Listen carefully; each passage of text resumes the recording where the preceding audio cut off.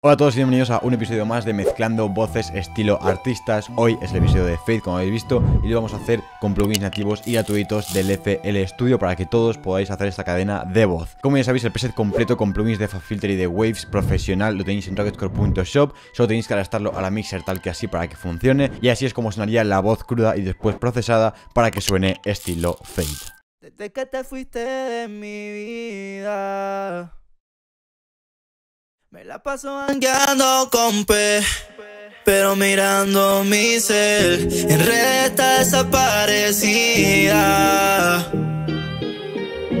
Pero hay un montón de piros. En este vídeo aparte de enseñaros cómo mezclar una voz estilo Faith con plugins nativos, también vais a ver cómo hacer un efecto muy muy curioso y profesional conocido como reverb de envío con Sidechain, así que quedad hasta el final si queréis no perderos absolutamente nada. Dios, tengo el fucking foco este, bro, me está dejando ciego, hermano. Un poquito menos de luz, por favor, gracias. Así que nada, como siempre digo, si quieres unirte a la comunidad, tenéis el Discord en la descripción. Y si me quieres apoyar y enterarte de todo lo que hago, tenéis mi Instagram también ahí abajo. Dicho lo cual, que empiece el vídeo, vamos ya al FL Studio. Vale, pues como veis ya tenemos aquí el proyecto de FL Studio, donde estaría básicamente de momento el beat de original de remix exclusivo de Fade y después justo debajo las acapelas crudas que hemos procesado para hacer todo este preset y toda esta mezcla de voz. Entonces, bueno, como digo siempre, en cada preset que está en rocketcore.shop en la web, no solamente viene un preset, vienen muchos presets para diferentes tipos de voces, por ejemplo, voz principal, voces dobles, adlibs, reverbs y delays de envío. Y todo esto no solo para FL Studio, sino para FL Studio, Ableton, Logic y BandLab también, efectivamente. Así que nada, simplemente para que lo sepáis. En cuanto a la cadena de mezcla de voz estilo fade, vamos a pasar a explicarla justo a continuación, pero debéis saber que no solo explicaremos la cadena de la voz principal, sino que además explicaremos un truco muy concreto que poca gente sabe de reverb de envío con sidechain a la voz, básicamente. Si no sabes lo que es eso y estás sonado chino, tranquilo, espérate un poco que te lo explicaré justo ahora. Y es básicamente un método para hacer que tu voz suene con un reverb realmente muy, muy profesional. Así que vamos a empezar. Vale, pues como habéis visto justo hace un momento, la voz em, sin el beat y sin la mezcla tampoco y sin el reverb ni el delay sonaría tal que así. Que te fuiste de mi vida. Me la paso hangueando con.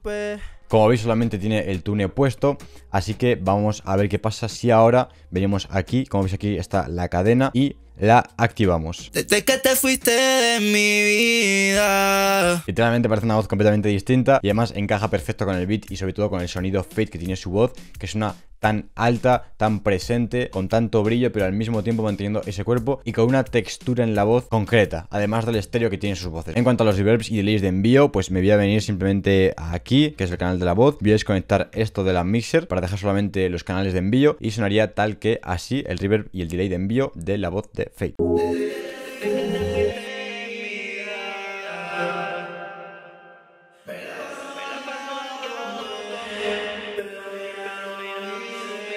Habéis visto que el reverb hace como un efecto raro, eso lo veremos justo a continuación. Pero antes, vamos a ver cómo mezclar la voz principal. Vale, entonces a continuación voy a explicar ya lo que sería la cadena de voz. Esta cadena que voy a explicar ahora es con plugins nativos gratuitos del FL Studio, es decir, no es con plugins externos de Waves y de FabFilter, es una cadena sin latencia, preparada y diseñada para sonar estilo Fade, lo más parecido posible, y podré grabar con ella, lo más importante, sin latencia, es decir, sin retardo. Como veis, por aquí estaría la cadena, como ya he dicho antes, en el preset completo que tenéis en rocketcore.shop, tenéis esta misma cadena, pero con plugins de Waves y de FabFilter y no suena exactamente igual, suena bastante mejor porque como digo son plugins de pago y esa cadena es la ideal una vez habéis grabado vuestra voz, queréis mezclarla directamente con esa cadena para tener el tema listo para sacar ya a literalmente cualquier plataforma. El caso, ¿en qué consiste esta cadena de aquí? Pues el primer plugin sería pues el autotune, aquí no se ve, le he puesto en un blog de notas, básicamente para que se entienda aquí primero va el autotune porque la voz original como ya viene con el tune, como vais a escuchar justo ahora. Pero espero que sepas que yo fui el primero y Pues como lleva tune, evidentemente no necesito ponerlo, pero vosotros lo ponéis, ¿vale? Se entiende, yo creo.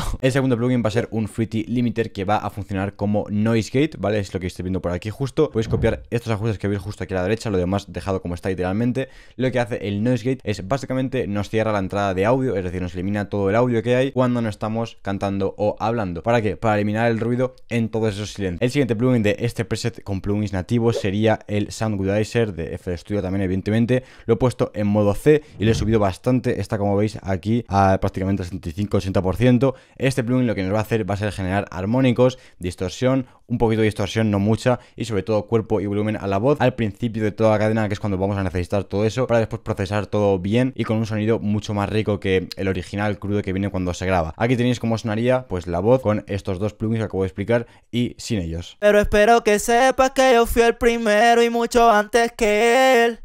Pero espero que sepas que yo fui el primero y mucho antes que. Como veis la diferencia es enorme, así que pasamos con el siguiente plugin, que sería el siguiente. Un Fruity Parametric EQ2, el ecualizador básico más conocido de FL Studio, que hace esta forma de aquí, en la que tenemos varias cosas. Primero tenemos este punto de aquí que utiliza con la forma de low cut, básicamente lo que va a hacer va a ser quitarnos graves de la voz que no necesitamos, sobre todo la parte del sub. Y después también tenemos este punto, el 4, el amarillo, que está actuando en 487 Hz, que se encarga de quitarnos esa parte grave de las voces que nos hace como ese sonido mood que se dice, o ese enmascaramiento acústico. Son básicamente graves que no nos aportan nada de cuerpo realmente, simplemente son sobrantes y cuando los quitamos nos dan mucha presencia a toda la voz. Vais a ver cómo suena eh, con esto quitado, con estos graves quitados, reducidos básicamente, y cómo va a sonar cuando lo iguale y después cuando lo suba, para que veas justo a qué me refiero. Pero espero que sepas que yo fui el primero y mucho antes que él. Pero espero que sepas que yo fui el primero y mucho antes que él. Básicamente rompemos el sonido porque pues suena muy mal. En cuanto a los medios, como veis no he tocado nada, pero aquí tenemos un pico muy importante en casi 13.000, 12.600, que es básicamente el que nos va a dar todo el aire y todo lo que sería la presencia aguda en este primer ecualizador. Pero espero que sepas que yo fui el primero y mucho antes que él.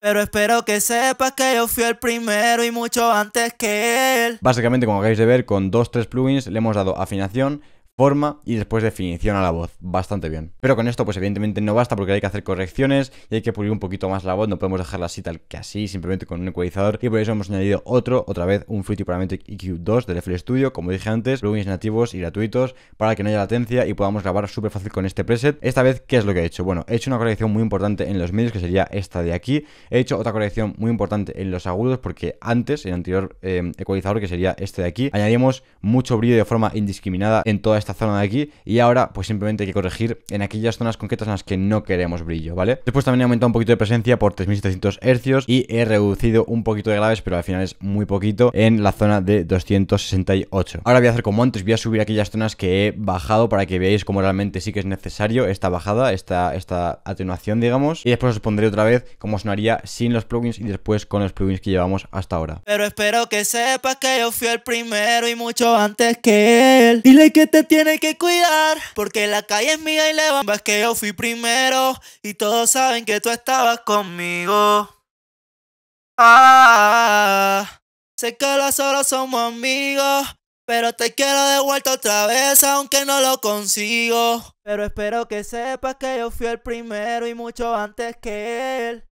Pero espero que sepas que yo fui el primero y mucho antes que él. El siguiente plugin de la cadena, como veis aquí abajo, sería un vocal doubler. Básicamente este plugin nos va a crear un poquito de estéreo a la voz, sin necesidad de tener voces secundarias al mismo tiempo que la principal. Simplemente nos va a abrir un poquito las voces para que no estén simplemente en mono y en el centro de la imagen estéreo, sino que salgan un poquito hacia los lados, como, bueno, pues como es el estéreo literalmente. Y yo que recomiendo con estos plugins que son doublers o que hacen estéreo a la voz de forma artificial, pues simplemente no os paséis con ellos. Si os pasáis, vais a perder mazo de cuerpo y además el sonido se va probablemente a romper, ya que como está hecho de forma artificial con una sola voz en vez de con dos, una a cada lado, pues se puede llegar a fastidiar. De hecho, por ejemplo, para este vocal doubler podéis simplemente ponerlo al 100% en lo que es eh, el plugin en sí y después aquí bajar el mix quizás a un 30 o un 20%. Y ya por último, para acabar esta cadena necesitamos compresión para la voz, evidentemente. He utilizado el Fruity Compressor en estilo medium, no lo he puesto en hard tampoco. Siempre suelo utilizar el hard, pero en esta ocasión me parecía mejor el medium para esta voz estilo fade. Estos ajustes no lo copiéis realmente porque dependen mucho de cómo de alto esté grabada vuestra voz y cómo de alto esté vuestro beat y demás. Y sonaría tal que así, sin los plugins, sin toda esta cadena y después con la cadena. Pero espero que sepas que yo fui el primero y mucho antes que él. Pero espero que sepas que yo fui el primero y mucho antes que él. Que te tiene que cuidar, porque la calle es mía y le vamos a bajar.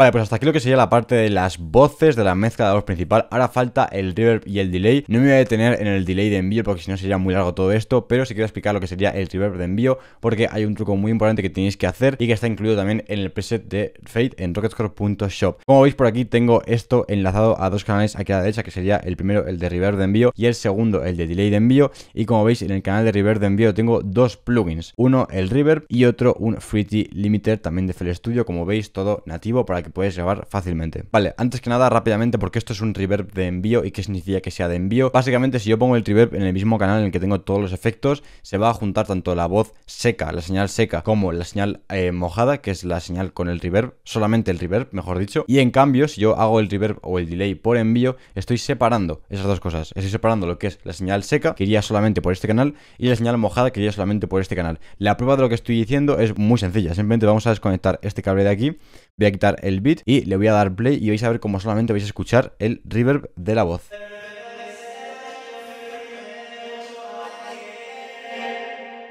Ya está, esa es toda la explicación. ¿Y qué ventajas tiene? Pues un reverb o un delay de envío. Pues que si van por su propio canal, podemos procesar concretamente solamente el delay de envío y el reverb de envío. Es decir, solamente la señal de reverb o de delay, sin tocar la señal original seca de la voz, que es la que hemos procesado hace un momento. Vale, perfecto. Pues una vez explicada esta introducción, ¿qué es lo que hacemos con este Fit Limiter y este reverb? Vamos a hacer lo que es conocido como un sidechain en un reverb de envío, con lo que sería el reverb. Es decir, cuando esté la voz sonando, habrá reverb. No es que no haya reverb, habrá un poquito de reverb, pero el verdadero reverb bien goloso vendrá una vez la voz desaparezca, creando como ese espacio tan grande que crea siempre la voz de Fade. Así que bueno, ¿cómo hacemos esto? Ponemos el reverb primero y al final de esta cadena, da igual en qué orden, ¿vale? Pero al final siempre vamos a poner el Fruity Limiter, que es básicamente lo que funcionará como eh, ejecutor del sidechain, básicamente. No iremos a la parte de limitador, no, sino a la de compresión, que es donde estaba puesto básicamente, y le daremos clic derecho en donde pone sidechain y buscaremos el canal. Como veis aquí tengo los canales posibles, como quiero hacer sidechain solo a la voz principal, pues selecciono el de Main Fade Vocal Preset. Ahora bien, ¿cómo ajustamos esto? Bueno, esto se ajusta con estos dos knobs, el threshold y el ratio. El threshold, como siempre, pues es el umbral y el ratio después es la cantidad o la agresividad con la que se aplica este efecto, ¿vale? Si yo, por ejemplo, dejo el threshold como está y eh, pongo el ratio en cero, básicamente no se va a aplicar ningún sidechain. Pero espero que sepas que yo fui el primero y mucho antes que él y escuchamos simplemente toda la voz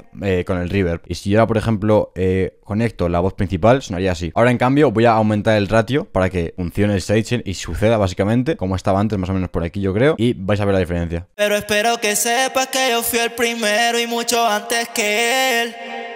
¿Veis cómo este plugin es como si estuviese castigando el reverb mientras la voz suena y después, una vez la voz desaparece, el castigo se va y deja que suba el reverb. Es básicamente cómo funciona. Entonces tenéis que jugar con estos dos knobs, threshold y ratio, para poder conseguir lo que queréis. El threshold cuanto más abajo esté, menos reverb habrá y el ratio cuanto más arriba esté, pues menos reverb habrá también, como acabáis de ver hace un momento. Así que nada, chavales, hasta aquí este vídeo de cómo hacer música estilo fade, desde las voces, toda la mezcla principal, reverbs de envío. Espero que haya sido de utilidad. Como ya sabréis, tenéis mazo de vídeos de este mismo estilo en mi canal de muchos más artistas, de muchos más géneros, así que os dejo por aquí para que podáis chequearlos. Y recuerda seguirme en mi Instagram si me quieres apoyar. También te puedes meter en el Discord de la comunidad si quieres, pues simplemente trabajar con más productores o enviar temas para que yo los vea en directo en Twitch para darte feedback y demás. Y recuerda que tienes todos estos presets y muchísimos más en rocketcore.shop. Dicho lo cual, nos vemos en el próximo vídeo. Adiós.